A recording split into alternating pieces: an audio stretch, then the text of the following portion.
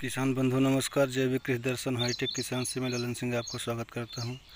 साथियों, आज हम लौकी की थ्री जी कटिंग करना सीखेंगे कि हम इसमें ज़्यादा उत्पादन के लिए थ्री जी कटिंग कैसे कर सकते हैं। साथियों, ये हमारी लौकी है।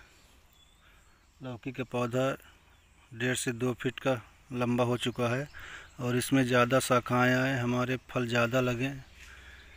उत्पादन बढ़े, इसके लिए हमें थ्री कटिंग करना ज़रूरी है।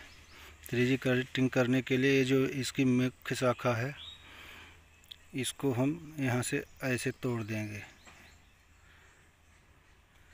अब इसको तोड़ने के बाद यहाँ हर पत्ते के पास से एक नई शाखा निकलने लगेगी।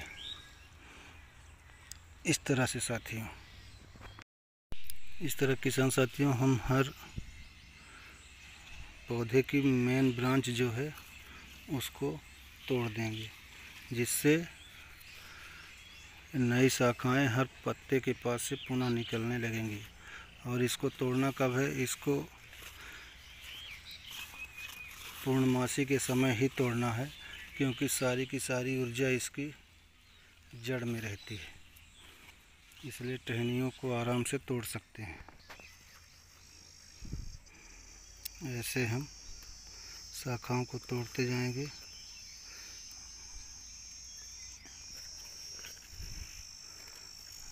इसका अगला पार्ट